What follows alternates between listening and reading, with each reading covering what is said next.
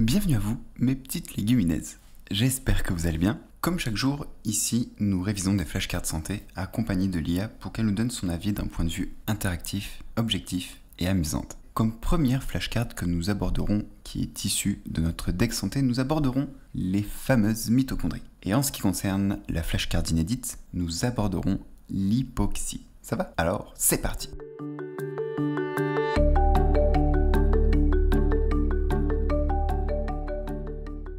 C'est quoi une mitochondrie? Alors, une mitochondrie, c'est une organite ou une organelle qui se trouve dans chacune de nos cellules, plus particulièrement chacune des cellules eucaryotes. On appelle souvent ces mitochondries la centrale énergétique de la cellule. Pourquoi? Eh bien, parce que c'est elle qui génère une bonne partie de l'ATP, adénosine triphosphate. Alors, je suis obligé de commencer par ça parce que sinon j'ai peur de l'oublier, c'est trop stylé. Les mitochondries ont leur propre ADN et il s'avère que c'est sûrement parce qu'elles descendent de très anciennes bactéries qui sont arrivées à se synchroniser avec justement ces fameuses cellules eucaryotes. C'est quelque chose de dingue, vraiment. Euh, ce qui est rigolo, c'est que je me rappelle plus du tout de l'étymologie.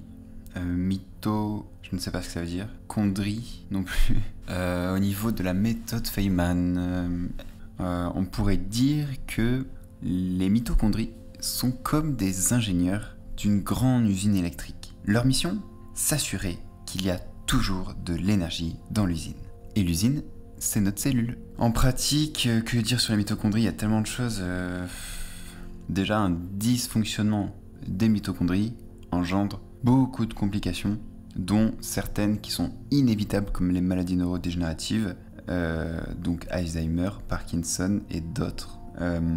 Après, on a des maladies dites mitochondriales, mais voilà, je vais pas m'avancer, je connais pas grand chose. bien que le rôle majeur des mitochondries soit production d'énergie, on a aussi des effets euh, de régulation à l'intérieur euh, intracellulaire. Euh, on a aussi un petit rôle de signalisation cellulaire et d'apoptose. Euh, je sens que j'ai oublié plein de choses, mais bon, euh, là tout de suite, euh, ça me vient pas en tête, donc on va passer tout de suite à la vérif. C'est parti.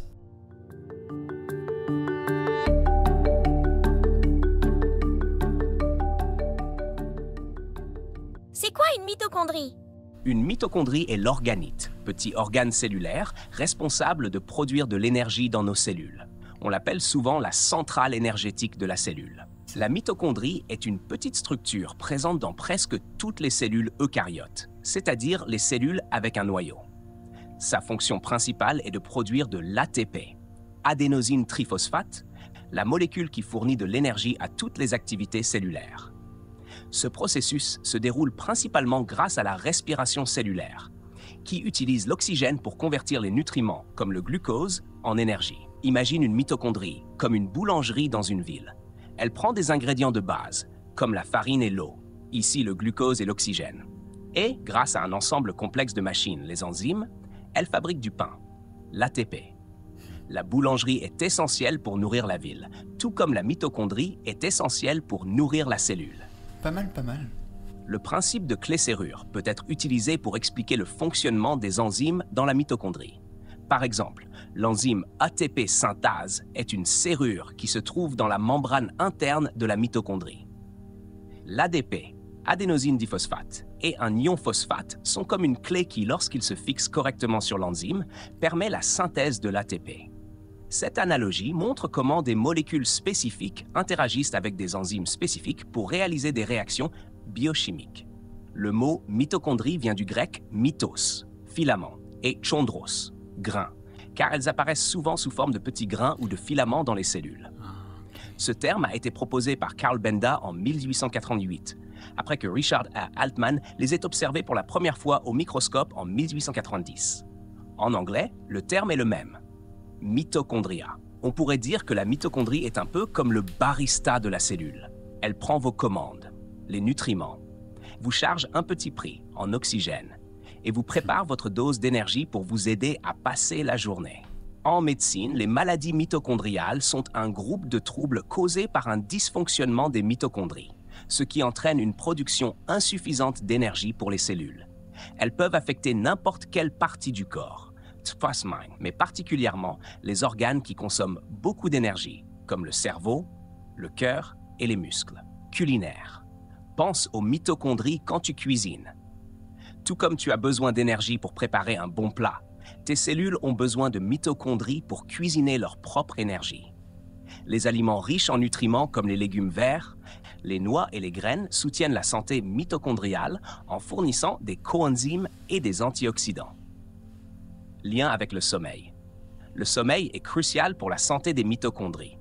Pendant le sommeil, ton corps répare les dommages oxydatifs accumulés durant la journée et permet aux mitochondries de se régénérer, ce qui est essentiel pour un bon niveau d'énergie. Lien avec l'activité physique. L'exercice stimule la biogénèse mitochondriale, c'est-à-dire la création de nouvelles mitochondries dans les muscles. Cela améliore la capacité des muscles à produire de l'énergie et à résister à la fatigue. Lien avec la nutrition. Les graisses saines, comme celles présentes dans les avocats ou l'huile d'olive, et les glucides complexes, comme les grains entiers, sont d'excellentes sources de nutriments pour les mitochondries. De plus, les vitamines du groupe B, la coenzyme Q10 et le magnésium jouent un rôle clé dans le métabolisme mitochondrial. Contrairement aux autres organites cellulaires, comme le réticulum endoplasmique ou l'appareil de Golgi, les mitochondries ont leur propre ADN. Cela les rend uniques car elles peuvent se diviser et se répliquer indépendamment du noyau de la cellule. C'est aussi pourquoi les scientifiques pensent qu'elles descendent d'anciennes bactéries qui vivaient en symbiose avec des cellules eucaryotes. Conclusion. La mitochondrie est essentielle à la vie car elle fournit l'énergie nécessaire pour pratiquement toutes les fonctions cellulaires. Elle joue un rôle dans le métabolisme, la régulation du calcium et même dans l'apoptose, mort cellulaire programmée. Quelles sont les deux principales fonctions de la mitochondrie dans une cellule? Alors, euh, ben, rôle premier, sans hésiter, production d'énergie. Deuxième rôle, euh, j'hésite. Je dirais euh, la signalisation. Bonne tentative. Tu as mentionné une des fonctions principales de la mitochondrie, mais voyons comment améliorer la réponse. La production d'énergie est effectivement la fonction principale des mitochondries, où elles produisent de l'ATP via la respiration cellulaire. Cependant, la deuxième fonction principale serait plutôt liée au métabolisme cellulaire et à l'apoptose, la mort cellulaire programmée, plutôt qu'à la signalisation en général. Les mitochondries jouent un rôle crucial dans la régulation du métabolisme énergétique et participent également à la gestion du calcium cellulaire et à l'induction de l'apoptose. La signalisation cellulaire est aussi un rôle des mitochondries, mais plus secondaire par Mm. rapport à leur fonction métabolique principale. Feedback pour amélioration. Pense aux fonctions de la mitochondrie comme à ses deux grands emplois. 1. Produire de l'énergie via l'ATP. 2. Réguler le métabolisme cellulaire et contrôler apoptose. Tu as déjà une bonne compréhension de base. Continue comme ça et n'hésite pas à poser d'autres questions si tu veux clarifier certains aspects. C'est quoi l'hypoxie? Alors là, je ne sais pas vraiment, mais alors là, j'ai aucune idée de ce que c'est. J'ai juste une petite intuition que c'est euh, quelque chose de délétère un peu. Que c'est une, euh, une conséquence, euh, euh, une pathologie, une maladie, une carence, une déficience en quelque chose. Euh, mais je ne sais pas quoi. Après, on pourrait s'aider de l'étymologie et éplucher un petit peu le mot pour essayer de comprendre, mais bon, euh, hypo. Ah oui Hypo manque, je pense, de quelque chose. Et xi, euh, xi, je sais pas. Mais à mon avis, c'est bien euh, une sorte de conséquence de quelque chose, d'un élément euh, important, un minerai, pas une vitamine, un minerai. je sais pas, donc on va passer tout de suite à la vérif. C'est parti. C'est quoi l'hypoxie?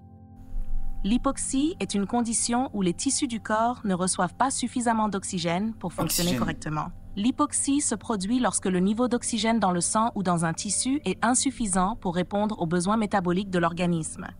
Cela peut survenir pour diverses raisons, telles que l'altitude élevée, les troubles respiratoires, les maladies cardiaques ou une circulation sanguine altérée. Lorsque l'hypoxie se produit, les cellules ne reçoivent pas assez d'oxygène pour effectuer la respiration cellulaire efficacement. Cela signifie que les mitochondries, les centrales énergétiques des cellules, ne peuvent pas produire suffisamment d'ATP, l'énergie cellulaire, par la voie aérobie qui utilise l'oxygène. En conséquence, les cellules doivent utiliser des voies alternatives, comme la glycolyse anaérobie, qui produit moins d'énergie et génère de l'acide lactique, entraînant une accumulation de fatigue et de douleur dans les muscles. Type d'hypoxie.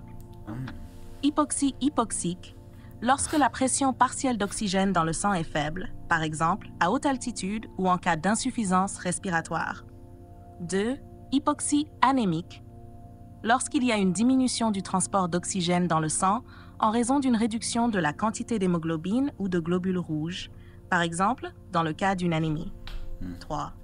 Hypoxie circulatoire stagnante, due à une mauvaise circulation sanguine empêchant un approvisionnement adéquat en oxygène aux tissus, comme dans les cas de choc ou d'insuffisance cardiaque.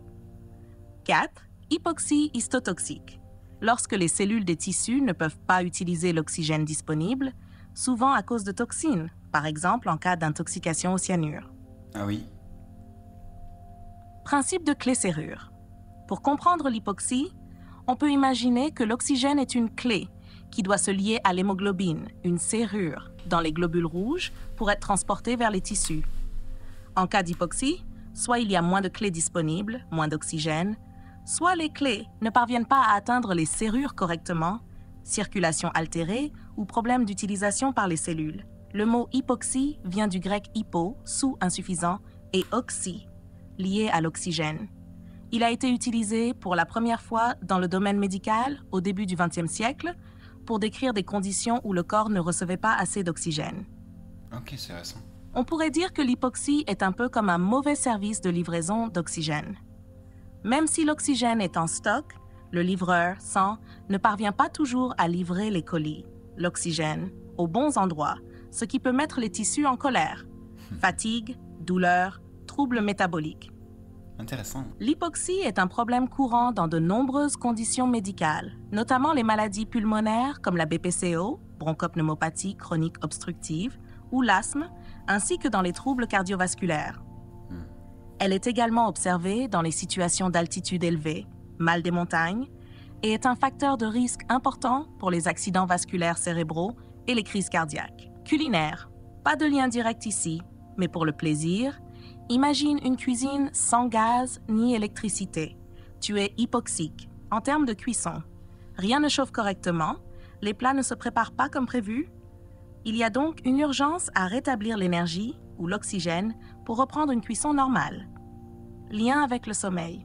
L'hypoxie peut perturber le sommeil, surtout en cas d'apnée obstructive du sommeil, où la respiration s'arrête temporairement plusieurs fois durant la nuit, entraînant une baisse d'oxygène dans le sang et un sommeil de mauvaise qualité. Lien avec l'activité physique. Lors d'un effort physique intense, il peut y avoir une demande accrue d'oxygène par les muscles. Si l'apport en oxygène est insuffisant, une hypoxie relative se produit, ce qui pousse les muscles à utiliser des voies anaérobies pour produire de l'énergie, causant fatigue et accumulation d'acide lactique. Lien avec la nutrition. Certains nutriments, comme le fer et la vitamine B12, sont cruciaux pour la production d'hémoglobine et des globules rouges qui transportent l'oxygène. Une carence en ces nutriments peut contribuer à l'hypoxie anémique. Contrairement à l'asphyxie, où il y a une absence totale d'oxygène, l'hypoxie désigne une insuffisance d'oxygène. Dans l'asphyxie, la privation d'oxygène est complète, ce qui entraîne la mort cellulaire très rapidement. L'hypoxie peut être plus subtile et chronique. Conclusion. L'hypoxie est une condition sérieuse où les tissus du corps ne reçoivent pas assez d'oxygène pour fonctionner correctement. Elle peut être causée par divers facteurs et nécessite une attention médicale pour identifier et traiter sa source. Peux-tu nommer un type d'hypoxie et expliquer brièvement comment il se produit? Alors, euh, je vais juste citer un type d'hypoxie que j'ai déjà entendu parler. Euh, donc, c'est l'hypoxie anémique. Après, tu demandes comment il se produit. Eh bien, euh, comme son nom l'indique un petit peu, en cas d'anémie férébrive, par exemple. Et dans ce cas-là, il y a une diminution du transport de l'oxygène dans le sang, donc moins d'oxygène dans le sang, ce qui est donc une hypoxie. Excellente réponse. Tu as bien identifié l'hypoxie anémique et expliqué correctement comment elle se produit. En effet, dans l'hypoxie anémique, le problème vient d'un manque de globules rouges ou d'hémoglobine dans le sang, comme dans le cas de l'anémie fériprive, manque de fer, Cela réduit la capacité du sang à transporter l'oxygène vers les tissus, même si les niveaux d'oxygène dans l'air inspiré sont normaux. Feedback pour amélioration. Tu as bien compris le concept. Pour aller encore plus loin, pense aussi aux autres causes de l'hypoxie anémique, comme les carences en vitamine B12 ou en acide folique, qui affectent également la production de globules rouges. Bravo pour cette réponse claire et précise. Continue comme ça. Terminé pour aujourd'hui. Si vous êtes resté jusqu'à la fin, félicitations. Restez motivés et je vous dis à demain pour une prochaine révision. Ciao ciao